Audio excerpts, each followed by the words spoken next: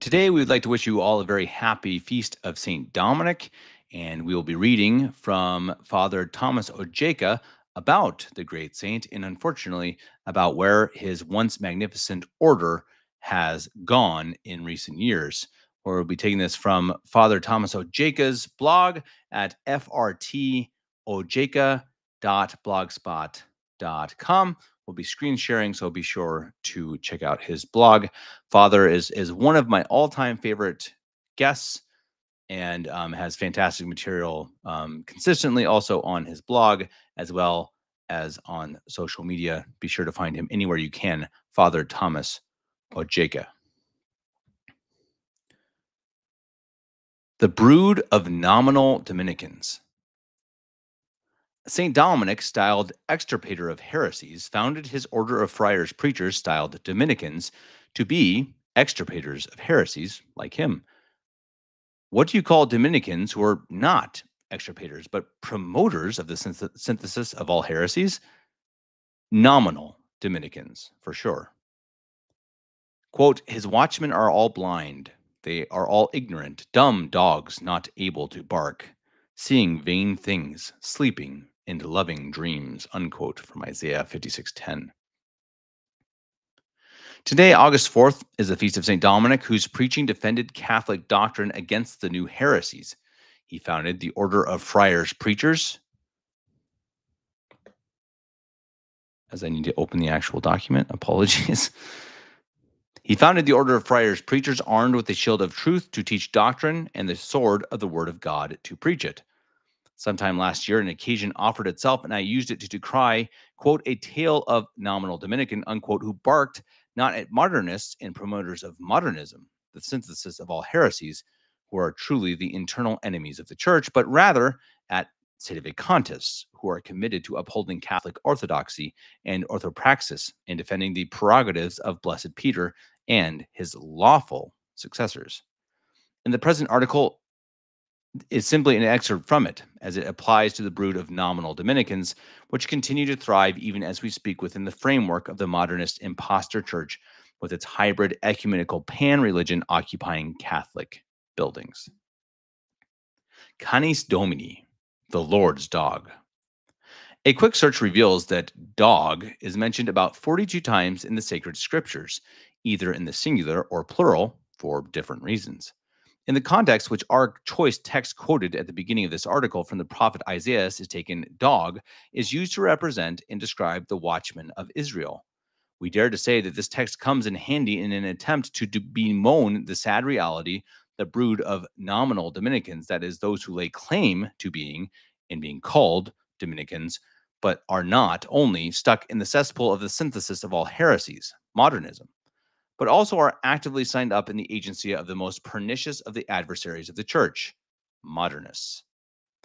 Having darling sister Patience for a companion, the reader is sure to see exactly how apt this choice text is for our purposes. A most common legend says that during a pilgrimage, St. Dominic's mother had a dream of a dog leaping from her womb with a torch in its mouth, and that it seemed to set the earth on fire. This was taken as a sign of a great child she was to bear. Thus, playing on the Latin words Domini Canis, which means the Lord's dog. His parents named him Dominic. Take that for a trivia or a starting point for a best selling doctorate degree thesis.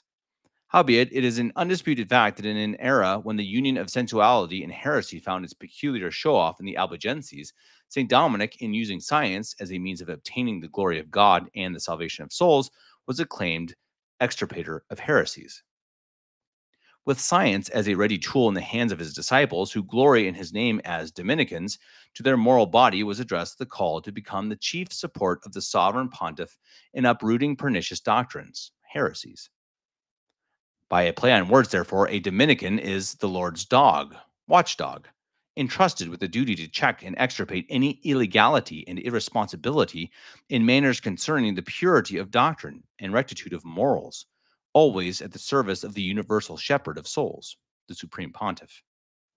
The big question is this For one who glories in the Dominican name, but is blind to the synthesis of all heresies, ignorant of his being stuck in the cesspool of the synthesis of all heresies and his being actively signed up in the agency of the most pernicious of the adversaries of the church, to spread the fruits of the synthesis of all heresies, dumb and not able to bark at the synthesis of all heresies, but seeing vain things, sleeping and loving dreams, barks at Catholics uncompromising with the synthesis of all heresies, and the most pernicious adversaries of the church. For such a one, I say, what is the best description, if not a nominal Dominican? That is, a Dominican only in name. I await a better description from anyone charitable enough to make a studied objection. In an age of subjectivism and sentimentality, it is never possible to call a spade a spade without being regarded as being offensive and guilty of hate speech. But you see, our duty to truth obliges us to call a spade a spade. A model Dominican.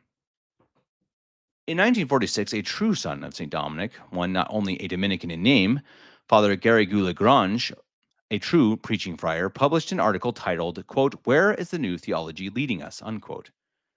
In Rome's Angelicum, one of the most prestigious theological journals. In this article, he warned that the new theology of the new theological movement is nothing more than a revitalized modernism, the synthesis of all heresies. This is because, just like modernism, the starting point for the new theology is the substitution of a subjective and vital notion of truth for the objective, perverting the eternal concept of truth, thus breaking with Catholic theological tradition. Noteworthy is that this same new theology was subsequently condemned by Pope Pius XII in Humani Generis. True to his being the Lord's watchdog, Father Garrigou Lagrange barked at those internal persecutors of the church of his time, the neo modernists. Now, it is no secret that by admission of its own adherents, this modernist new theology became the official theology of Vatican II.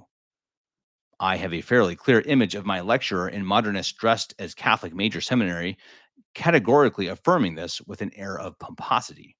Yes, it was said that the new theology of the new theological movement became the official theology of the church at Vatican II, and that this was the best thing to have happened to the church in modern times, since this new theology helped the church to abandon her old theology of exclusivity to embrace that of inclusivity. A paradoxical parallel. Now, the Dominican Father Garrigou Lagrange, making deductions from objective principles and facts, saw in the new theology a revitalized modernism in thought and action. For doing this, he is rightly hailed as a true son of Holy Mother Church, the ground of truth.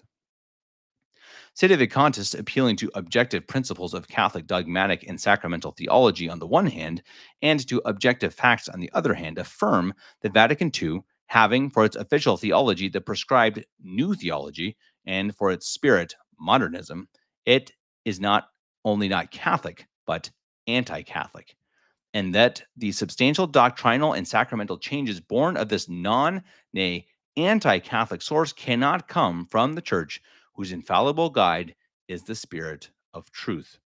For saying this, a Dominican of this age ranks them among the internal persecutors of the church. Why such a paradox? Well, we must find the root in the disparity between the paradigm of Father Garrigou Lagrange and that of his supposed confrere of today. The former, a champion of objectivity of truth, used science, the knowledge of things from their causes, while the later, schooled and immersed in modernist subject subjectivism, subjectivism, sorry, uses sentiment sentimentalism. There is no iota of a hermeneutics of continuity. No, such is the tale of a nominal Dominican.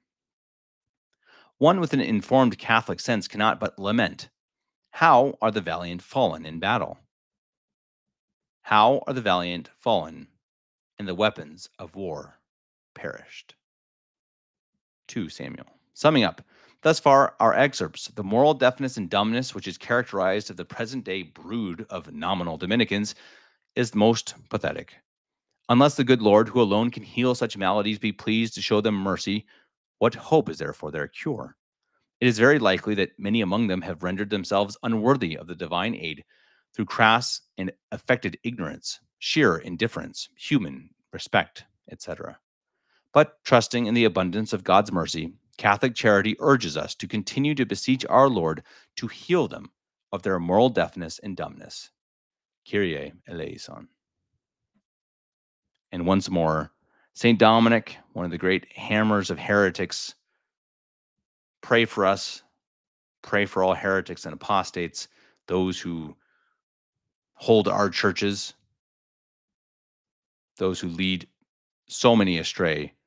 Please pray for for all of them, everyone who's who's been led off the path of truth. Help us in these times where we so desperately need you.